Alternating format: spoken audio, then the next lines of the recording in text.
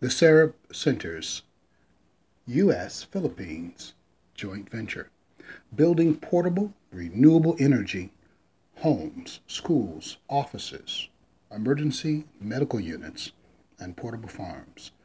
Building these facilities into entire communities where the families can work and learn and play all within the same community. These Sarap centers, again, will be built with renewable energy capabilities, no need to be hooked up to any outside local power source. Our first joint venture will be to build communities for those who live within the squatter areas here in the Philippines. We need the Ministry of Housing and other government officials to select land where these new communities will be built. This will be a displayed project for future communities built throughout the Philippines as well as throughout the entire global community, namely throughout the Middle East, where the predominant number of Filipino workers are now working outside the country trying to provide a life for their families here in the Philippines. Yet we believe these new communities built throughout the Middle East will help the families join those who work outside the country within those same geographical areas where their loved ones are now. So they won't be estranged from their families. Again, homes, schools, offices, emergency medical units, portable farms, these communities will be established, Filipino communities where they will be able to join their family members working outside the country.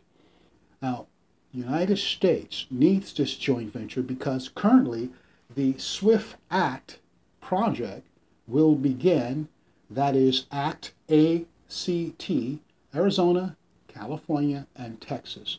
Communities on both sides of the border will be built and we will utilize the Philippine population as the robust, growing workforce they have within the nation. And we will pay healthy living wages for the Philippine population here within the nation as well as throughout the global community.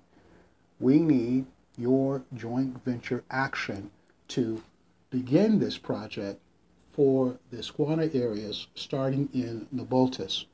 We're looking forward to working closely with you. We'd appreciate very much if you would listen to the entire Sarap Center's presentation to understand what the project will begin and how it will build the workforce for the Philippine nation as well as U.S.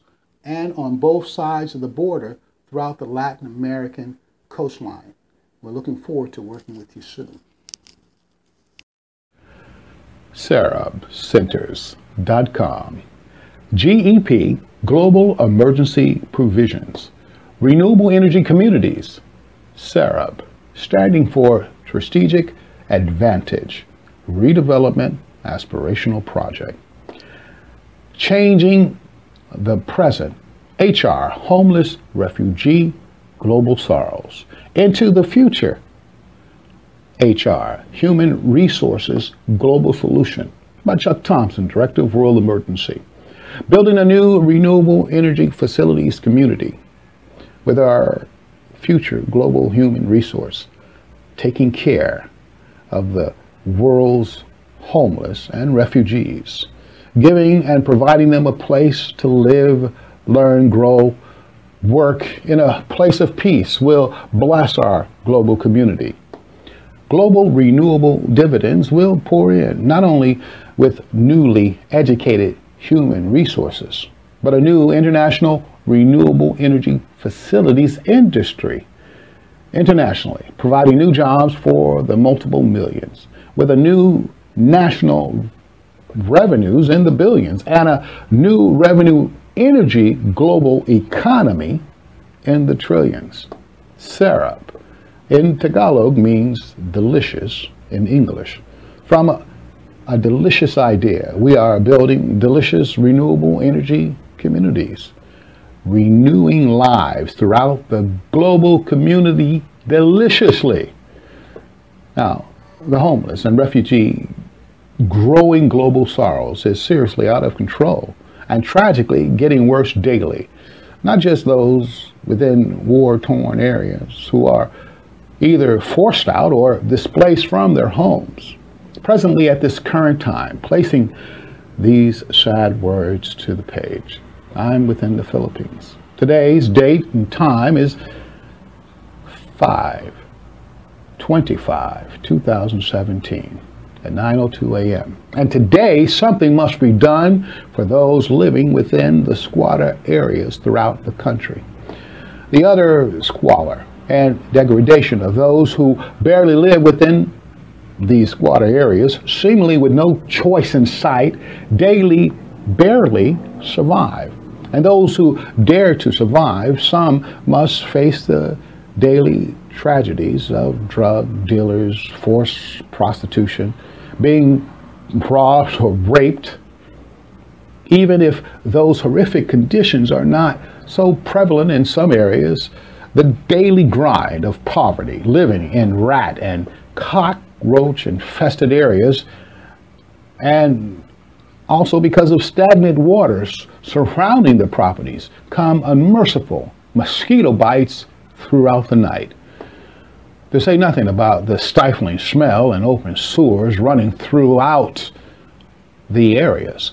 Living within these chaotic conditions, asthmatic sicknesses, along with colds, viruses, and other infection, attack adults and children alike. Even when the rains come, which should clean the air and wash away the raw sewage, the decaying dead bodies from the graveyard problem, where some of the squatters live on top of, a slush of green slime comes out from the corpses buried on top of one another, providing more deadly peril to live within. And yes, we can continue this discussion regarding worldwide poverty sorrows throughout the global community, such as in Calcutta, India, or Nigeria, Africa, and the war torn Middle East. A daily track of people are fleeing their homelands because of war or running desperately seeking a better life. The tragic consequences are the same. The sad reality is the worst of human nature takes place.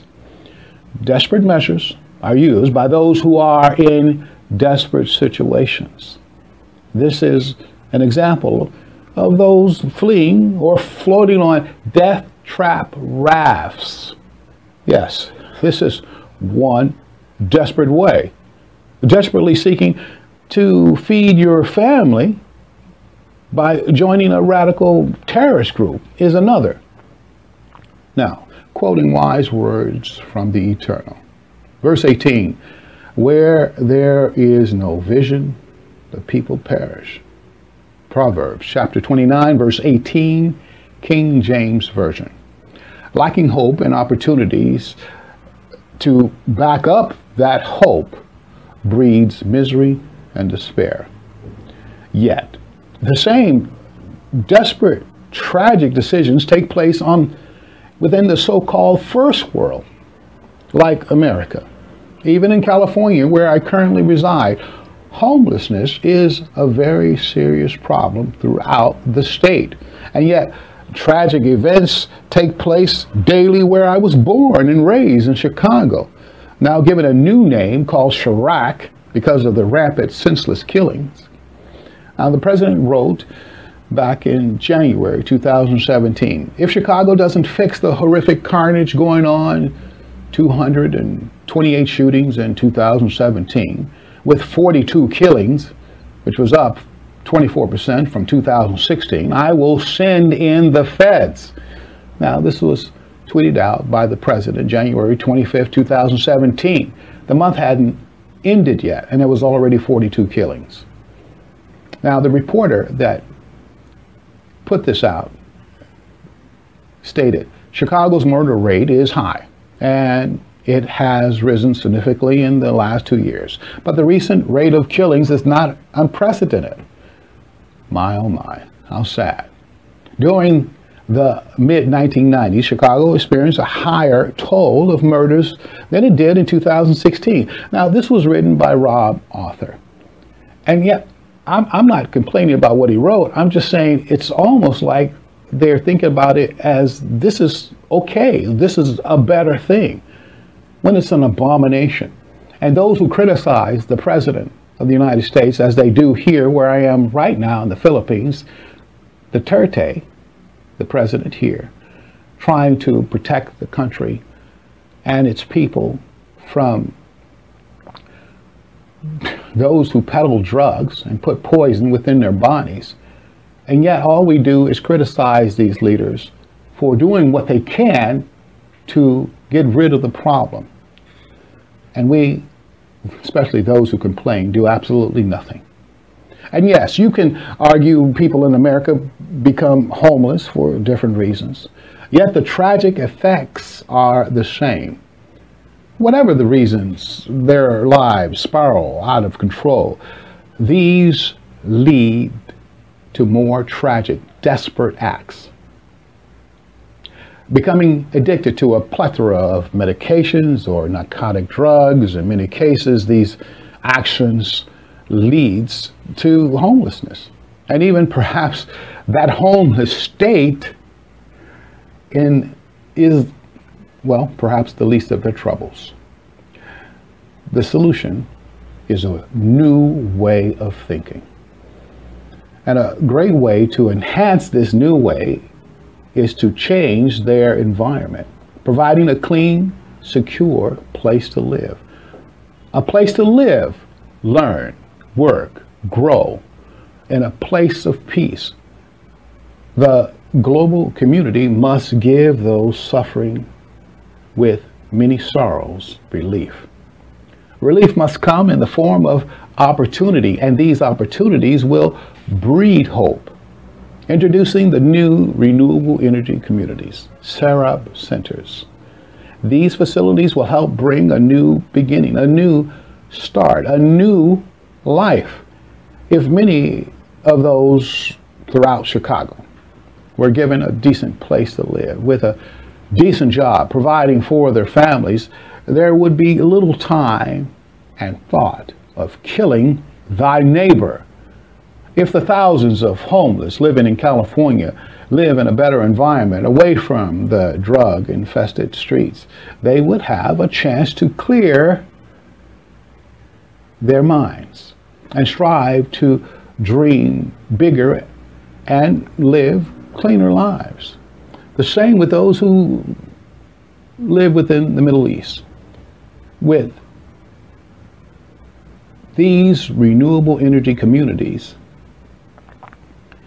when they are established, especially throughout the promised safe zones, they will be given new hope with new opportunities to live, learn, work, grow, and provide for their families. There would be little incentive for them to join any radical terrorist group. And those poverty stricken citizens barely living, barely surviving, in many places throughout Africa, as well as throughout the nation of India and in the Philippines, can also acquire a new way of thinking giving the opportunity, living with hope in their new environment, learning, working, and growing, having gainful employment, building these renewable energy facilities themselves, then their lives will be changed for the better forever. Now, gaining this new way of thinking, they become educators of this way of life, giving uh, the opportunity to others now, instead of their present darkness of life, literally living on bodies of the dead, they now live with a new energy for life. Not as HR, homeless refugees, but as what we all are created to be. A great HR, human resource. I'm looking very much forward to working with the entire global community to provide these new renewable energy services.